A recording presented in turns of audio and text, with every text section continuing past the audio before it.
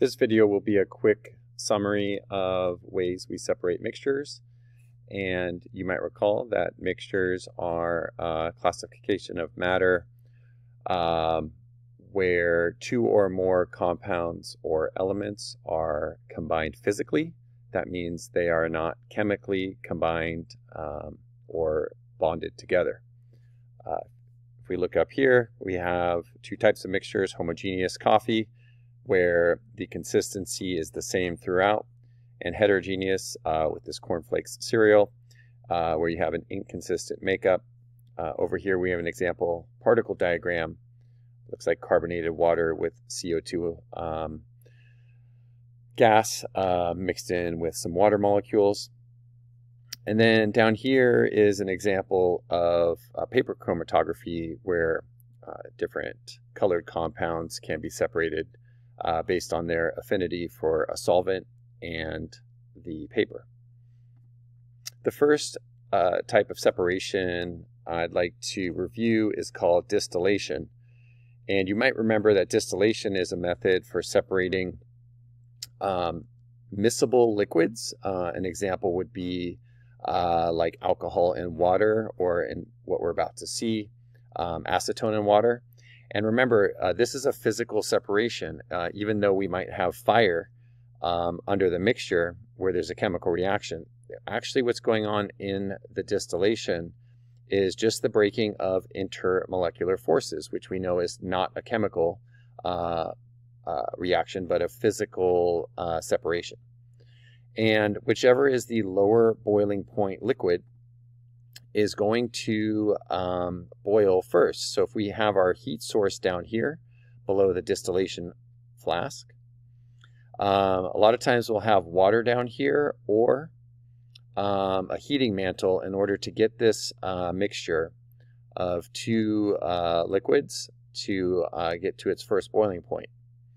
Now, if you have um, oil, uh, sorry, if you have acetone in water, acetone has a much lower boiling point, so this will start boiling or refluxing at about the boiling temperature of acetone, and those vapors will come up and will start condensing on this thermometer, and we'll see the, the temperature of the lower boiling point liquid on this thermometer.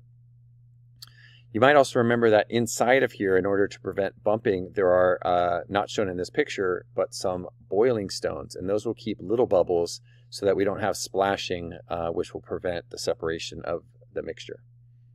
As this boils and the acetone first um, is evaporated, uh, those vapors will make their way to this condenser where cool water flows up from the bottom around the outside of the condenser and then flows out through the top.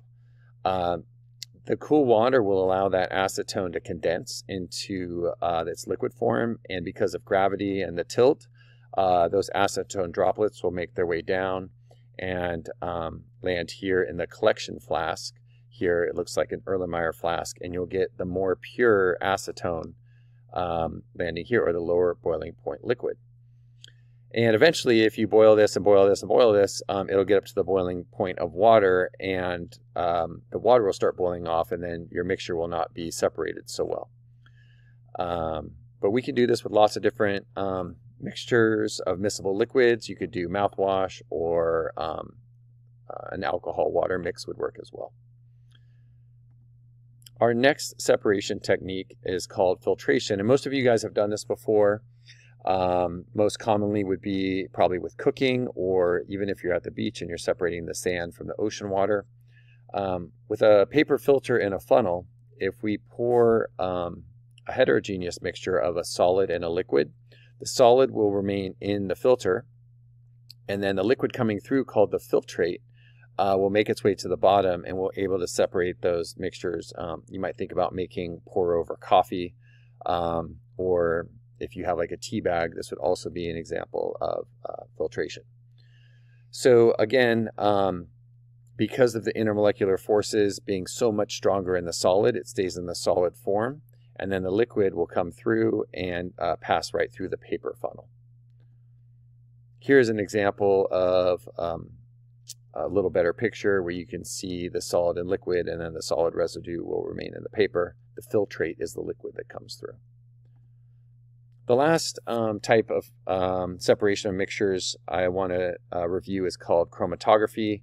This one that we use sometimes is called paper chromatography, but there are a lot of other ones. Uh, there's thin layer chromatography, column chromatography, high performance liquid chromatography, lots of ways to separate very small amounts of compounds. And this one is nice because you only um, need a very small amount of compound.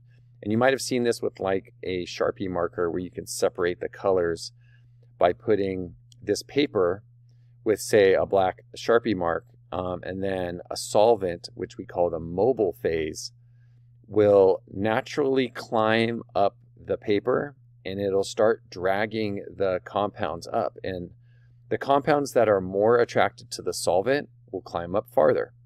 Uh, the ones that are more attracted to the paper uh, will not climb up as far. So it's a competition uh, between the solid phase, which is the paper, and the mobile phase, which is the solvent. And that solvent could be water or acetone or alcohol.